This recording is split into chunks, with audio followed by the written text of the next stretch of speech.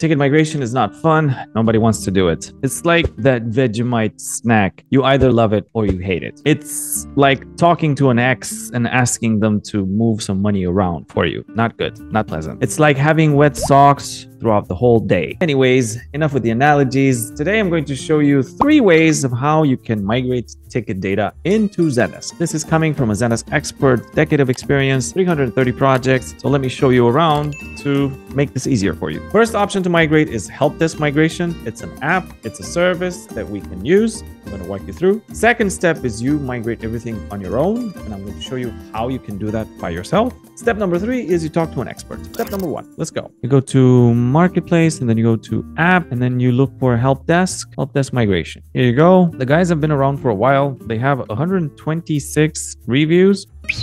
Holy crap, that's very good. Quite jealous, actually. So, yeah, they've been around for a while and they do a good job, apparently. I'm going to walk you through on how you can use their service and uh, what you first have to do is you have to get an account with them. So let's go here is their website. I'm just going to go for a free trial. I'm going to, yeah, sign up with one of my accounts. Let's do it with this one. Continue. Alrighty then. So it asks me what the source is. Like, where am I migrating from? What's my platform? The source right now by default is Zendesk. So they're very experienced with Zendesk. And this would be a Zendesk to Zendesk migration. We don't want to do that. Let's check what other platforms they have for you. Assembla, Autotask, Cayzu, a uh, CSV. I like this one the best because usually most migrations are done through CSVs. I'm going to tell you more about that later. Database, blah blah Dixa, HappyFox, Gmail, Groove, Freshdesk I see here, Help Desk I see here, Intercom, HubSpot, Kayako, Kustomer. Oh my God, they're all here. Live Agent. So these guys well went all in. So they have pretty much all the platforms uh, in history and in future. Asana, Basecamp, ClickUp, GitHub, Monday, Holy crap. Anyways, I'm going to do Zendesk to Zendesk in this case, just for the sake of this example. So let's sign into our Zendesk. Let's first put in the domain, pasting it here, sign in. I will obviously ask for me to allow it. So it connects to it. And uh, yeah, it, I give it access to all my data. Okay, excellent. So target account. Now this is where I am migrating to. So I can again choose one of the many platforms that they use to migrate to. You'll notice that it's not as many as before. The number has considerably reduced. I'm going to choose Zendesk again. Ah, here we go. Pop up asking me to, yeah, do stuff with them. I have another test account, which is this one. Paste it in here. Sign into this one too. All right, allow. Okay, so, so far, very easy. Now comes the complex part, which is mapping of data. This is the hardest part of a migration. This is what gives people headaches. This is why it's so dirty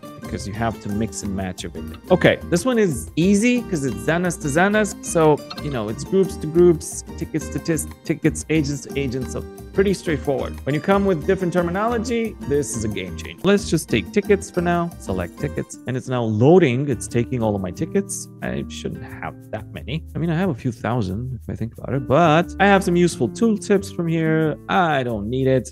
now I have to mix and match everything up. So type, type, to question, to blah. So I have to do this with everything, everything, everything, everything. Okay, so this is a very long list. Save mapping. I'm just going to assume it's done well, you have to go with this one by one. So these are mapped, these are mapped, everything is mapped now. Continue. Loading just a few minutes. Okay, so now it's asking me to map the groups together.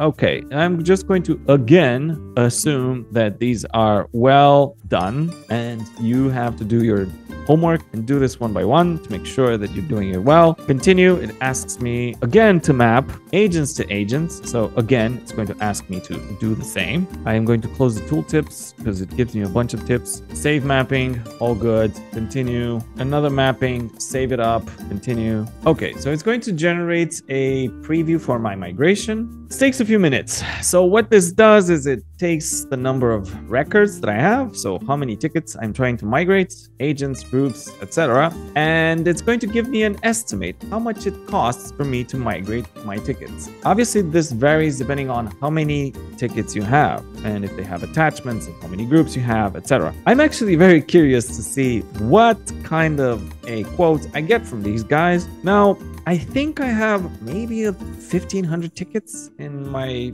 test account, and then in the other account, it doesn't matter. That's the source. And here we go. Action. So we have whoa 160 whoa whoa that's that's a lot all right so i think we have more tickets than expected original records migrated records all right so demo is complete here it is so i have how many? 12 groups agents 10 organizations 27 customers 108 115 tickets 1647 ah pretty close. So i'm getting all data migration price 618 bucks. Hmm Okay. And if I do the standard fee, how much is it? It's 418. Okay, 9 to 5 via email and chat support, regular SLA, blah, blah. Dedicated support on weekends, data re-migration, interval, interval migration, delta migration, skip failed record. I don't know what this is. If I choose premium, it's uh, 618. Okay and I get high priority response, dedicated support on weekends, one data review within. Okay, cool. And then signature.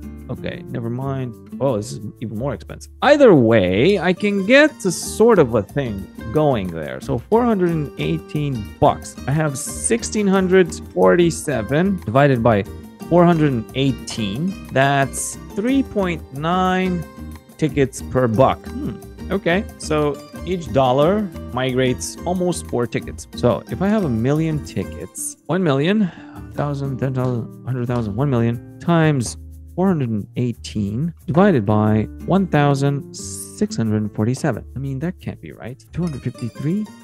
253,000? Anyway, this, uh, this is ridiculous. I don't know how much uh, migrating a million tickets is, but seems like a lot if I just uh, take this amount I don't know. Probably it's like retail. The more you do, the better price you get. But anyways, okay. Uh, uh, for a million tickets with us, probably pay maybe like 15k or something like that. Not not this, not 250.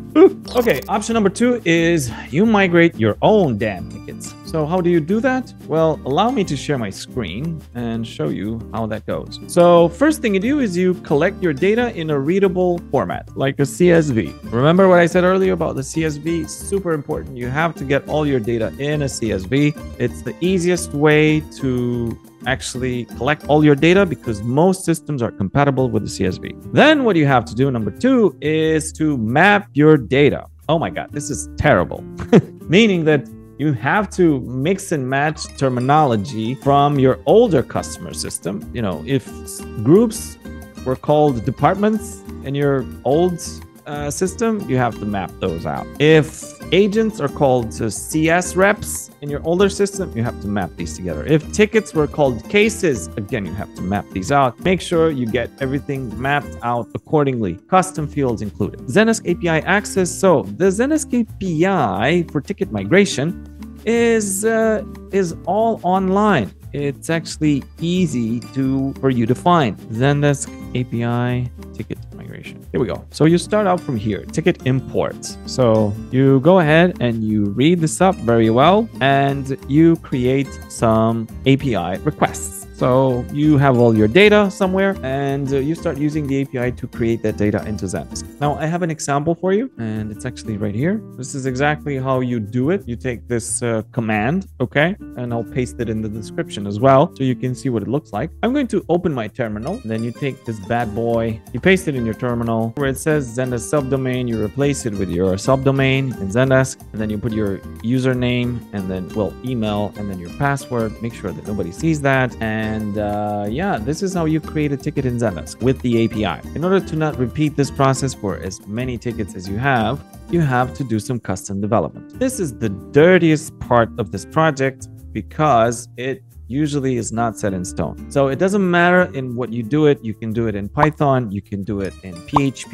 you can do it in Ruby, you can do it in C, you can do it in whatever programming language that you're good at. That's not the issue. That's not the problem. So you can create a script that does this for you. Now, there's another caveat, which is having this data live on a server somewhere. So your code has to fetch the data from the CSV and then convert it to, you know, this uh, beautiful uh, line of code here and then just shove that into Zendesk. That's essentially what you have to do. Okay, next is to do the testing. So test until you get it right, until you're happy with what you get. And uh, when you have a few tickets that work well, standard practice is you do 10 random tickets, migrate those so you don't have the same complexity for all. You have various complexity for the tickets. Once you're happy with that, you then migrate everything else, like all the bulk that you need. And then you have the validation. Okay, let's uh, actually test to see if this shows in reports, if it works, if I can see it, etc. It's very important to use the ticket import function, not the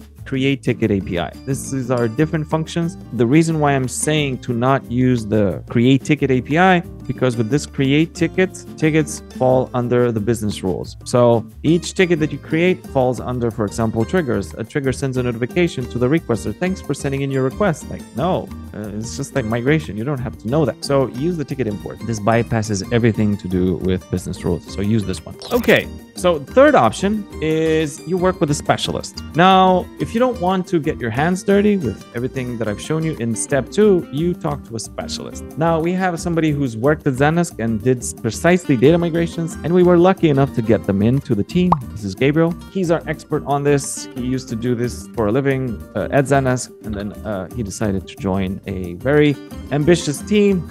if you need any help, hit us up, and we can help you with that. We've been doing it for a long time, and we don't mind getting our hands dirty. This is what we do. So yeah, I guess I'll see you in the next one. Like and subscribe. We've created a membership area, making all this content for free. So I don't know. I could use support if you if you find any of this useful. I'll see you in the next one. Bye.